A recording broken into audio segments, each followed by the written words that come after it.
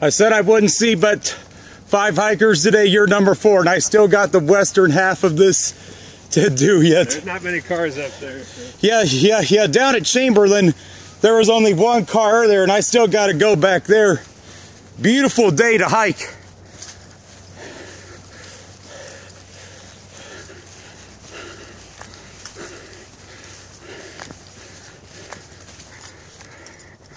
Yeah, I'm approaching High View Hill.